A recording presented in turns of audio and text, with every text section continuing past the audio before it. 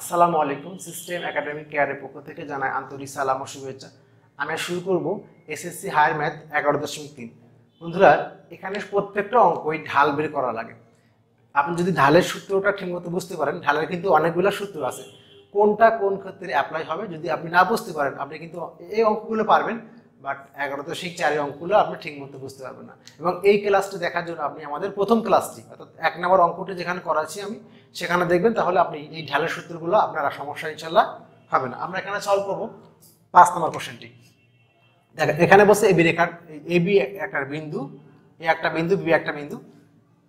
বিন্দুগামী রেখার ঢাল minus one তার মানে আগে আমাকে এবি রেখার ঢাল বের করতে হবে, ঢাল। এবি রেখার ঢাল বের করব। বাট ঢালের মানটাই বসে মাইনাস ওয়ান তার মানে কি? প্রশ্ন মাত্র ওই ঢালটা ইকুয়াল টু মাইনাস ওয়ান তাহলে এখানে লেখেন এ বি রেখার ঢাল। এ বি রেখার ঢাল। ঢালের সূত্র আমরা কি জানি? Y two minus Y one নিচে হলো X two minus X one কারণ ঢালটা আসলে কি জিনিস? ঢাল হলো এক্স অক্ষে ধনাত্মক দিকে যে কোণ তৈরি করে। ঢাল tan theta equal to Y by X বলা হয়। ওয়াই বাই এক্স তাহলে কেন? ঢাল মানে কি? ট্যান মানে কি? লম্ব বাই ভূমি।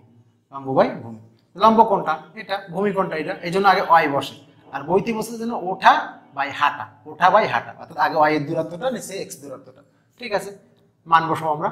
তার মানে এটা হলো এক্স ওয়ান, এটা হলো ওয়াই ওয়ান, এটা এক্স টু, এটা ওয়াই টু তার মানে ওয়াই টু এর সেকেন্ড মান থেকে ফার্স্ট মানটা বাদ। তার মানে স্কোয়ার প্লাস ওয়ান থেকে থ্রি পি মানটা বাদ। আর সেকেন্ড হলো এক্স টু এর সেকেন্ড মান থেকে এক্স ওয়ানটা বাদ। তাহলে ফোর থেকে থ্রি বাদ ফোর থেকে থ্রি বাদ তাহলে এখানে কি দেওয়া হলো? P square minus three P plus one আমরা চলকের মানটা আগে নিব। নিচে ওয়ান আমরা ওয়ানটা এইভাবে রাখি কারণ আমাদেরকে সমান ওয়ান লিখব, গুণ করতে সুবিধা হবে। বুঝতে সুবিধা হবে। গুণ করতে সুবিধা না, বুঝতে সুবিধা হবে। তাহলে এটা দেখব, এটা আমাদের ঢাল। আর বলছে রেখার ঢালটাই মাইনাস ওয়ান ওই রেখার ঢালটা, তার মানে প্রশ্ন মতে এই ঢাল সমান এই ঢাল। তাহলে এখানে প্রশ্ন মতে প্রশ্ন মতে P square minus three P plus one by one equal to one যেটা অন দেন বুঝতে সুবিধা হবে। Minus one sorry minus one equal to minus one লিখলাম বাট আমরা জানি নিচে একটা ওয়ান লেখা যাবে। তাহলে আর গুণ করে দেন, তাহলে আমাদের যেহেতু আর গুণ করব, এটাকে আগে এই মানটা আমার লাগবে, চলকের মানটা, তাহলে এটা আগে লিখব P square minus three P plus one equal to one গুণ মাইনাস ওয়ান মাইনাস ওয়ান বা এখান থেকে এই ওয়ানটা বাম দিকে নিয়ে আসেন। P square minus three P plus one plus one equal to zero. বাকিটুকু আমরা এখানেই করি। ওকে, তাহলে এখানে যোগ বিয়োগ করেন। বা P square minus three P plus two equal to zero. এখন দুই থেকে তিন করবেন, দুই থেকে তিন, তাহলে দুই একে দুই। আর কিন্তু কোনো স্কোপ নাই। অনেকে ভুল লেখে যে তিন পি মাইনাস কখনোই না। এই যে এখানে যে মানটা আছে, ধ্রুবক সংখ্যাটা, আর এখানে যে চলক, তার পাওয়া একটা মানে মান একটা অন আছে কিন্তু। এইটা এটা গুণ করবেন। তাহলে দুই একে দুই। দুইয়ের নামটা পড়বেন।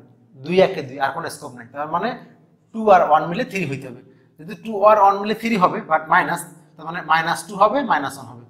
সেটা এখানে লিখব। তাহলে P square minus two P বা আপনি পি লিখতে পারেন টু এখানে আছে, সমস্যা না যেটা লেখেন আর এখানে হলো পি প্লাস টু সমান জিরো এখন চেক করে দেখেন পি স্কোয়ার পি স্কোয়ার বসছে প্লাস টু প্লাস টু বসছে টু পি আর পি থ্রি পি ওকে ঠিক আছে। অনেক যদি এখানে নাও মিলে, আপনি এখানে চেক করে নেবেন, ঠিক আছে না এখন পি স্কোয়ার আর টু পি পি কমান যাবে পি মাইনাস টু পড়বে, এখানে মাইনাস ওয়ান কমান যাবে বি মাইনাস টু পড়বে, সমান জিরো মাইনাস ওয়ান কমান নেবেন। এখন দুই কমান থেকে একটা কমান নেবেন, তাহলে পি মাইনাস টু আসবে, আর বাকি পি মাইনাস ওয়ান আসবে, সমান জিরো এখন খেয়াল করেন, এখন কি হলো এখান থেকে?